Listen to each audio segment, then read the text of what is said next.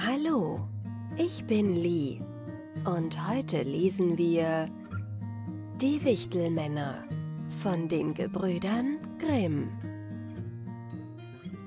Erstes Märchen Es war ein Schuster ohne seine Schuld so arm geworden, dass ihm endlich nichts mehr übrig blieb als Leder zu einem einzigen Paar Schuhe. Nun schnitt er am Abend die Schuhe zu, die wollte er den nächsten Morgen in Arbeit nehmen. Und weil er ein gutes Gewissen hatte, so legte er sich ruhig zu Bett, befahl sich dem lieben Gott und schlief ein.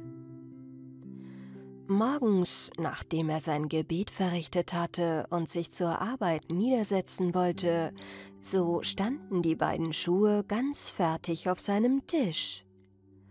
Er verwunderte sich und wusste nicht, was er dazu sagen sollte. Er nahm die Schuhe in die Hand, um sie näher zu betrachten. Sie waren so sauber gearbeitet, dass kein Stich daran falsch war, gerade als wenn es ein Meisterstück sein sollte.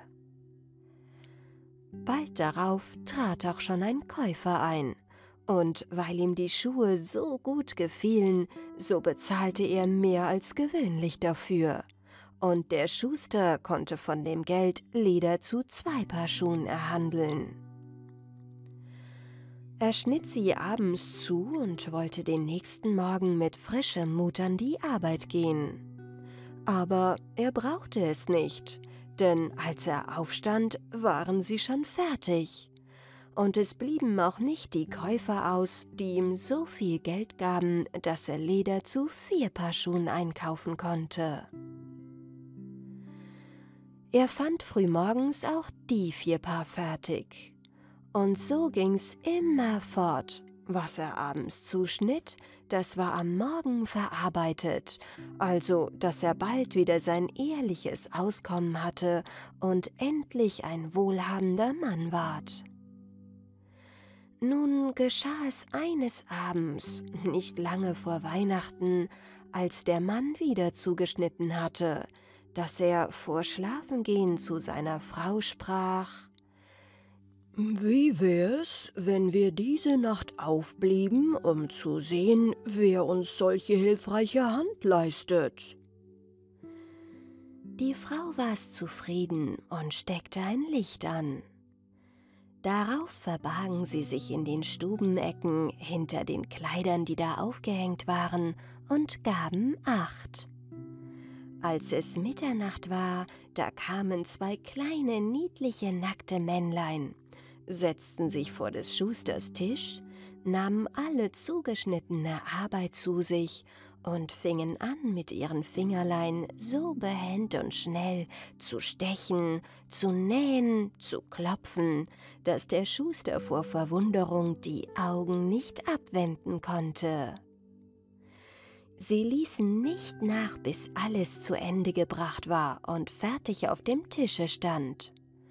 Dann sprang sie schnell fort. Am andern Morgen sprach die Frau, die kleinen Männer haben uns reich gemacht, wir müssten uns doch dankbar dafür zeigen. Sie laufen so herum, haben nichts am Leib und müssen frieren. Weißt du was? Ich will Hemdlein, Rock, Wams und Höslein für sie nähen, auch jedem ein paar Strümpfe stricken Mach du jedem ein paar Schülein dazu. Der Mann sprach, das bin ich wohl zufrieden.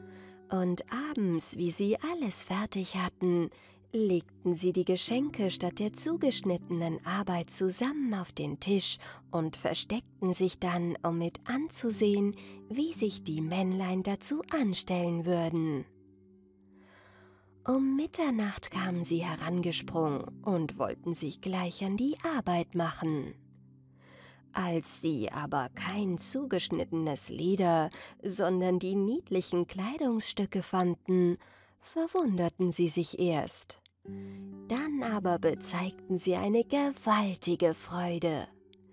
Mit der größten Geschwindigkeit zogen sie sich an, strichen die schönen Kleider am Leib und sangen Sind wir nicht Knaben glatt und fein, was sollen wir länger Schuster sein?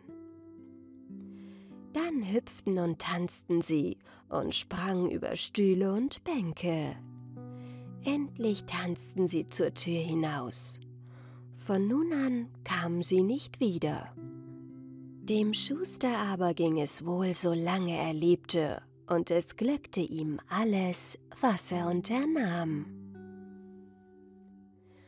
Zweites Märchen Es war einmal ein armes Dienstmädchen, das war fleißig und reinlich, kehrte alle Tage das Haus und schüttete das Kehricht auf einen großen Haufen vor die Türe.